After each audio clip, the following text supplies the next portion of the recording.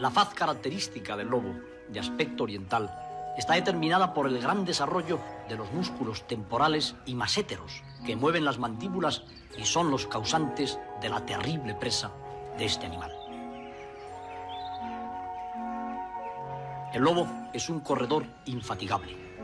Ciertamente no alcanza tan altas velocidades como los lebreles, pero corre más que los perros normales. El lobo es riquísimo en manifestaciones mímicas de la faz. La exhibición de los tremendos caninos le sirve para impresionar a los otros miembros del grupo. La jerarquía se mantiene precisamente evitando peleas y confrontaciones mediante estas exhibiciones de las armas poderosas. Aquí nos muestra una expresión de amenaza de gran intensidad. Amenaza de mediana intensidad. Amenaza de más baja intensidad. Amenaza rayana ya con la sumisión. Sumisión.